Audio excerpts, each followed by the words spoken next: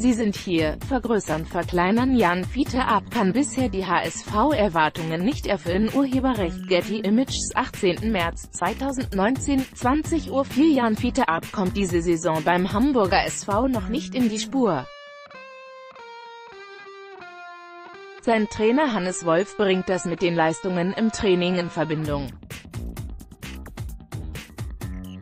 Nach der überraschenden 2:3 Niederlage zu Hause gegen Darmstadt 98 hat der Hamburger SV als Tabellenzweiter weiter nur drei Punkte Vorsprung auf den Relegationsplatz. Service, Tabelle zweite Liga, Investor Klaus-Michael Kühne hat den direkten Wiederaufstieg sogar schon abgehakt.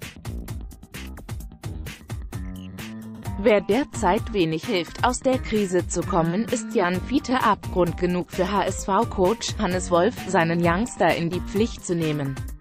Mit nur einer Torbeteiligung in 15 Einsätzen in dieser Saison bleibt der erste Bundesliga-Torschütze, der nach 2000 geboren wurde, weit hinter den Erwartungen zurück.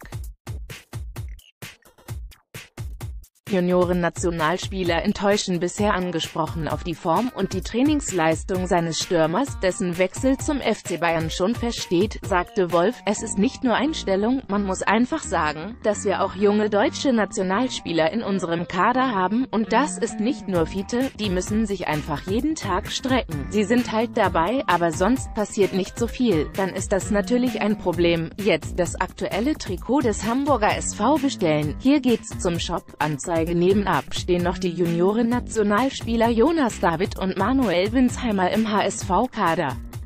Beide kamen diese Saison jeweils nur zu Kurzeinsätzen. Punkt. Wolf sagte am Rande des Trainings weiter, das ist gar nicht böse, aber besser trainieren hilft meistens, um auch besser zu spielen.